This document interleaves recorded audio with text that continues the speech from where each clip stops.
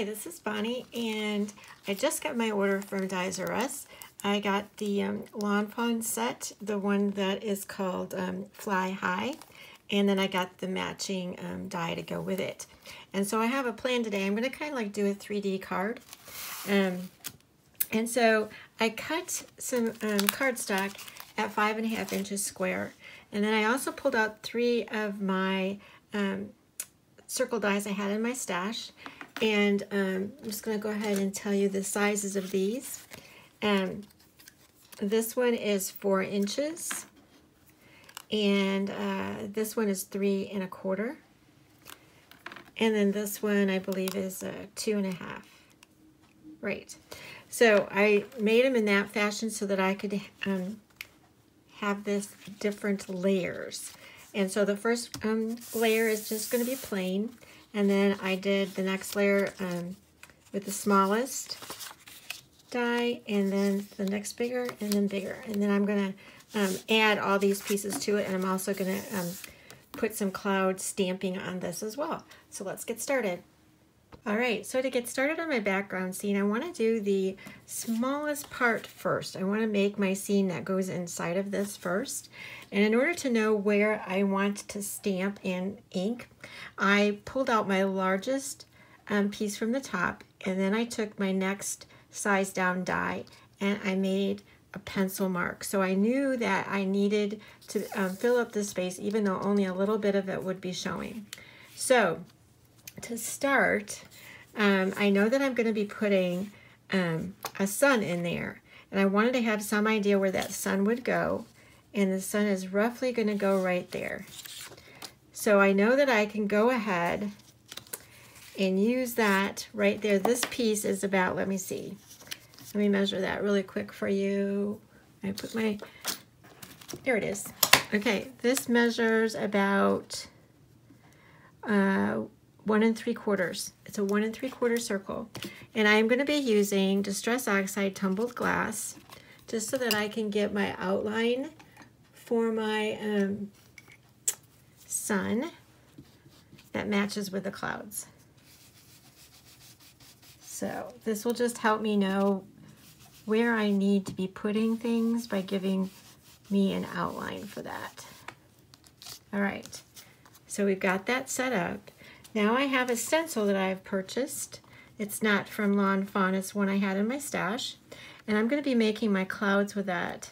And I'm gonna, again, stay within side of that. So I can go outside of it. It just needs to make sure I have it inside.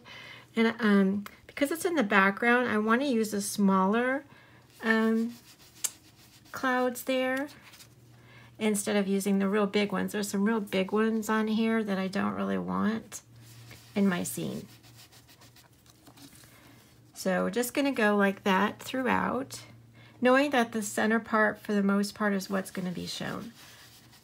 Because as you know, this is a bigger circle, so, but I can still keep that in there.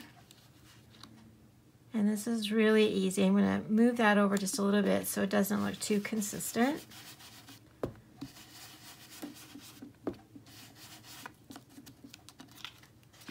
We'll probably do it one more time. Okay, so that should work really great. I also want to give some color to my sun. And I am using uh, squeezed lemonade. And I'm just going to put some color in there by just going around in a circle.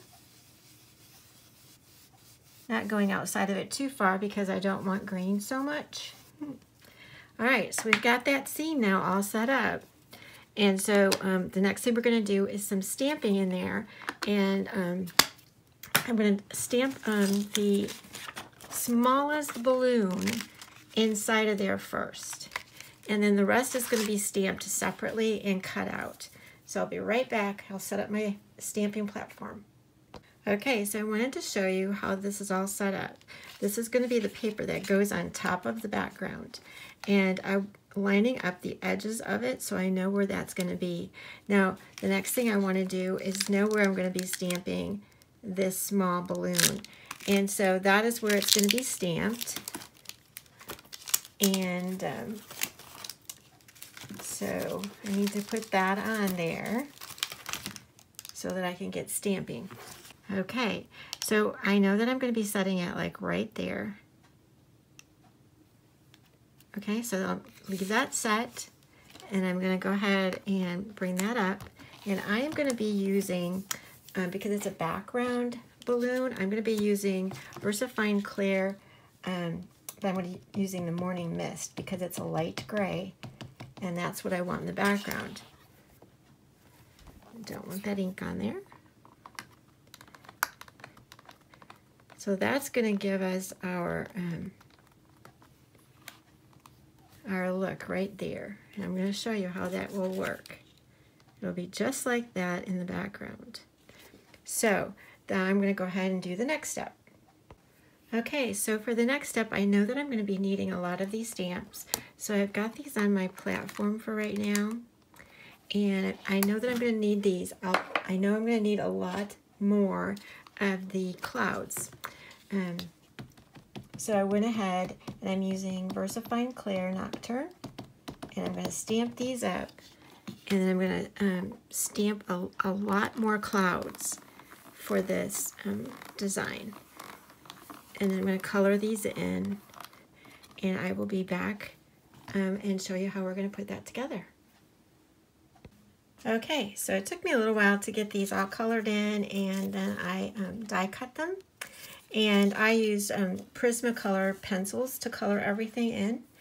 And um, what I wanted to show you really quickly is I wanted you to see these without their little um, banners on. And then I was going to go ahead and put them on so you could see what they look like.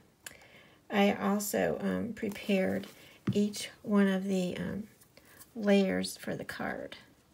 So you could put this on anyway. You could even add more than one crisscrossing. You could do whatever you want.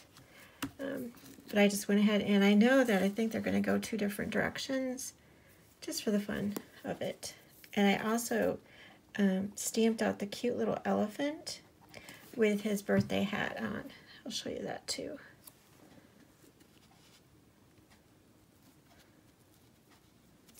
So I was looking at these. These could almost look like uh, the world. Um, didn't even think of that before. So anyway, let me show you the little cute little, he's super cute. Or she, seeing as it's got a pink hat. Um, so basically you just, um, you could actually put this on with glue or if, if you want it to be raised up, it could be a foam dot or a foam tape. So that's what we have for putting on the card. Super cute. And then I made a lot of clouds, but I don't know that I'm going to be using all those, and I actually did color them in blue. Um, that's just what I did. So I'm going to show you the card base. This is what um, we worked on before in the background. And so that's that layer. And then the next layer, I've even got them marked so I know how they go because they could change up a bit. And this is how they're going to layer up.